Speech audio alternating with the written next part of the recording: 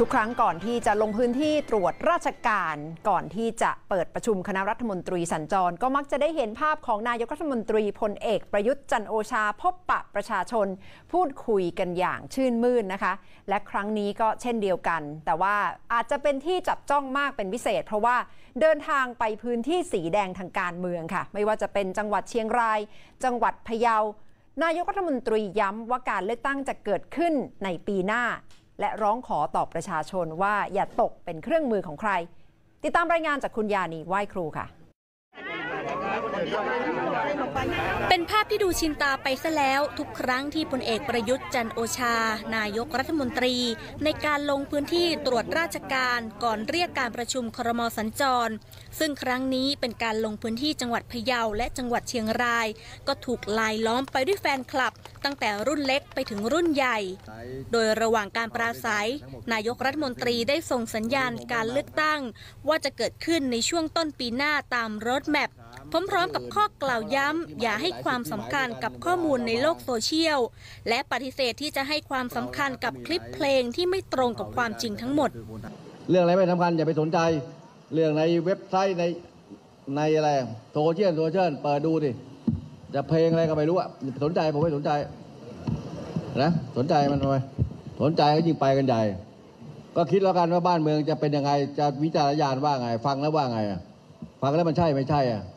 มันลำบากขนาดนั้นเชียวเหรอเผด็จการมากขนาดนั้นเชียวเหรอนะถ้าเผด็จการผมไม่ต้องมาแบบนี้นะพูดจนเมื่อยอยู่แล้วเนี่ย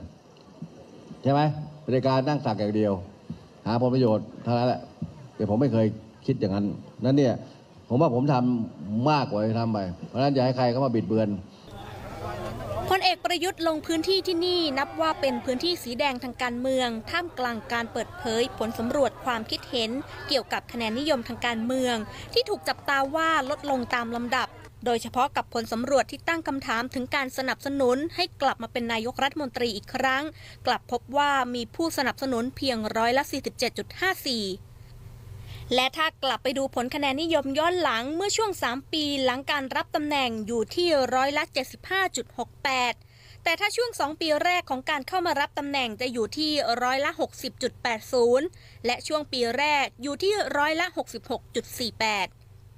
เมื่อไปดูที่สวนดุสิตโพจะเห็นว่าประชาชนส่วนใหญ่ยังคงสนับสนุนพลเอกประยุทธ์เป็นอันดับหนึ่ง และมีนายอภิสิทธิ์เวชชาชีวะ และคุณหญิงสุดารัตน์เกยุราพันธ์ในลำดับต่อมา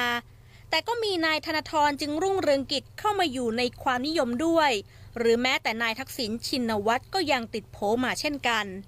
ไม่ต่างกับคะแนนนิยมที่กรุงเทพโพสำรวจพบในช่วง 3 เดือนแรกที่เข้ามาทำหน้าที่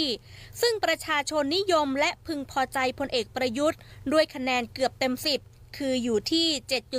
7.43แต่เมื่อครบรอบหนึ่งปีพบว่าคะแนนอยู่ที่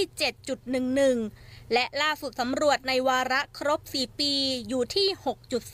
6.40โดยนัทพลแย้มฉิมประธานสวนดุสิตโพประมวลให้ฟังว่าปัจจัยที่ส่งผลต่อคะแนนนิยม คือการแก้ปัญหาเศรษฐกิจ และถือเป็นเรื่องธรรมชาติทางการเมืองที่ระยะแรกคะแนนนิยมจะสูง ไม่ต่างกับผู้ช่วยศาสตราจารย์นพงศ์นพเกต ผู้อำนวยการนิดาโพที่ชี้ว่า คะแนนนิยมของผู้นำและรัฐบาลในแต่ละยุคไม่ได้ต่างกัน คือเริ่มแรกจะมีคะแนนนิยมที่มาสูง ตามวาระที่เรียกว่าป๊อปปูล่า จากนั้นจะลดลงตามลำดับความสนใจ โดยเฉพาะในช่วงเวลานี้ที่มีการเปิดตัวคู่แข่งขันทางการเมืองมากขึ้นยานีไวครูไทย PBS รายงาน